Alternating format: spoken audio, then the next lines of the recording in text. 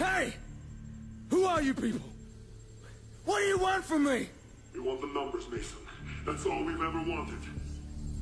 21. You stupid.